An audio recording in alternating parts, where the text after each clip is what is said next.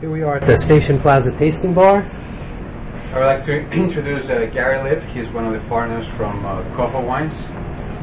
Gary, thanks for coming in today. Yeah, it's my pleasure, and I do appreciate that the station has been uh, offering our wines to the good folks in, in Bronxville for a while, and hopefully it will continue.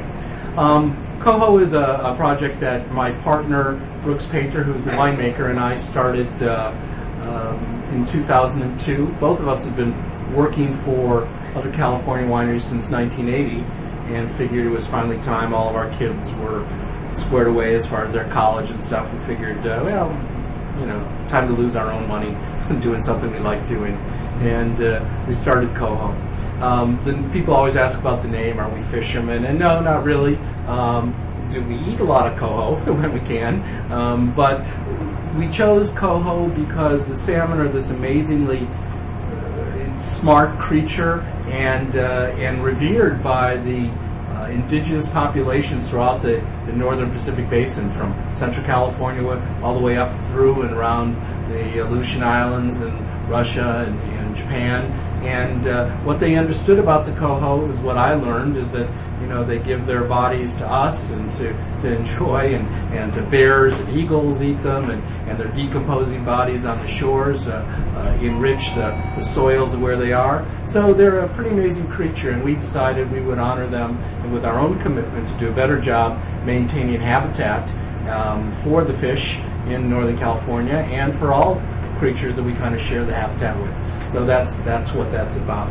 We're making um, five different wines, four of which I brought today to um, Station Plaza.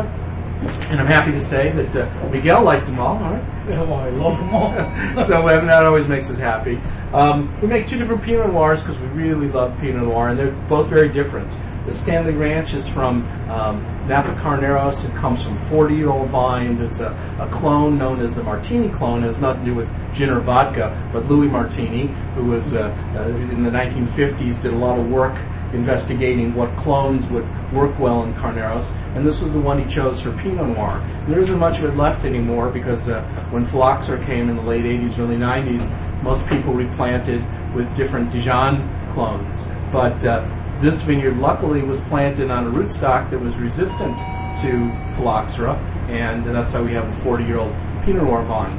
The Russian River, totally different. It, um, as where the, the Stanley Ranch tends to me have a, a lot of complexity, nice, um, uh, spicy kind of um, uh, anise character and black cherry uh, in the nose and down the palate. The uh, Russian River, which is a much cooler area, much thinner soils, better drained, uh, different clones, clones from the Dijon region of, of Burgundy originally, and the, the, you know Russian River Pinot Noir has gotten famous and really loved because of the bright, rich, full fruit that it has, and this wine certainly has that with wonderful acidity, and they're both so good with dinner. Um, but they, it's funny, they, you know, because of the difference in their character, they go with different foods. A couple weeks ago, my wife and I had a little dinner party, and the first course was a lentil soup with black truffle oil. And before the dinner, we weren't sure which Pinot to do with which. We tried both. And the, the, the, you know, the aromatics of the Stanley Ranch, we thought, oh, this is great. But then when we tasted it with the soup, on the finish, it, it put it off a little bit. We tasted the Russian River with its rich forward fruit. It was delicious. Then with dinner, we had some grilled salmon with a beurre blanc sauce over Brussels sprouts, and it was the complete opposite. The Stanley Ranch went with it amazingly. So, you know, that's why we make two. Uh, what about for the guys that do it for sport? Can we just drink it by itself? Well, you have two hands, two glasses. Enjoy. and uh, and uh, you know, but you might find popcorn. It goes. They both go pretty good with popcorn. Um, the Michael Black Vineyard's a wonderful little Merlot vineyard in an area known as Coombsville. Coombsville is just east of downtown Napa, and it's uh, um, really uh, it's a wonderful little vineyard, very small, rocky, volcanic soils, very low yields. Uh, we normally get a ton, ton and a half to the acre. And what, how that expresses itself in the wine is that the wines are really complex, really rich. You know, un- unfortunately, we've lived through even pre-sideways a time where Merlot has gone down in the estimation of the American wine drinking public who doesn't know what Merlot is. I think often if they if they understood that some of the great French wines from Bordeaux, particularly the Red Bank, the Right Bank, where the wines that have a heavy proportion of Merlot in them, they'd go, "Oh yeah, I guess I do like Merlot." But they don't know it well enough to recognize that. And uh, we feel very privileged that we're working with this exceptional Merlot vineyard that really makes Merlot that are complex, flavorful, rich, and great, uh, you know, great, great with, um, you know, rich, hearty, hearty foods. So I, I hope you give it a chance. Forget your prejudices and, and give it a try because it, it's pretty spectacular. Actually, forget silence. Yeah, forget Sideways. A quick story: Virginia Madsen, the star of Sideways, is a fan of Michael Black. Coho Michael Black Merlot and has bought it from us. So God bless her. I had to berate her a little bit, but uh, uh, no, she, she was she was wonderful. She's also a fan of the Stanley Ranch.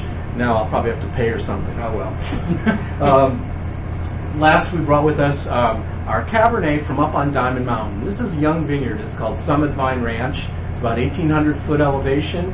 Uh, wonderful uh, vineyard. The aspect is kind of northwest facing. Um, it, the, the, the vineyard is exposed to, it's at the top, you know, almost the top of the mountain, but it's wide open and it, it kind of a plain, plateau that gently slopes down and it overlooks Mount St. Helena is kind of to the to the right of it and overlooks the Knights Valley, Alexander Valley. In the afternoon, we get cooling breezes coming all the way from Lake Sonoma and the eastern Russian River. So it's got kind of the best of Napa and, and Sonoma counties coming into it, though it's certainly Napa Valley fruit. Young vineyard, this 2005 is just the second year we've made wine from it. It was planted in 2000, 2001 and it, it's delicious. And um, and each year we're seeing it's just getting more rich, more complex, and uh, it's fabulous. I, I, do have to say so.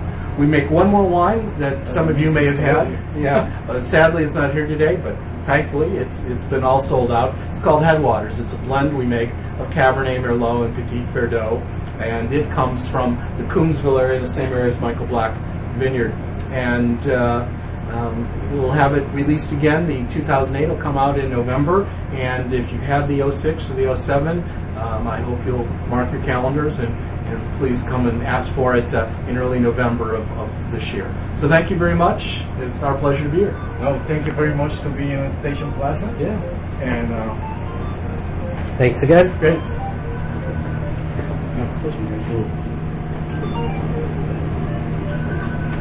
Wine's great.